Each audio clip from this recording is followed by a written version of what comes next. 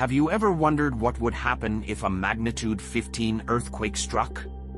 Well, let's take a moment to imagine it.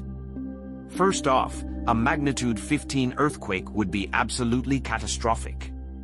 It would release energy equivalent to billions of atomic bombs and could potentially cause the entire planet to shake. Buildings and infrastructure would crumble like paper, and even the strongest structures would likely collapse. The ground itself would crack and shift, creating massive sinkholes and landslides. The impact on human life would be devastating. Millions could be injured or killed, and it could take years for affected areas to recover. However, it's important to note that a magnitude 15 earthquake is not scientifically possible. The strongest earthquake ever recorded was a magnitude 9.5 in Chile in 1960. Thanks for watching.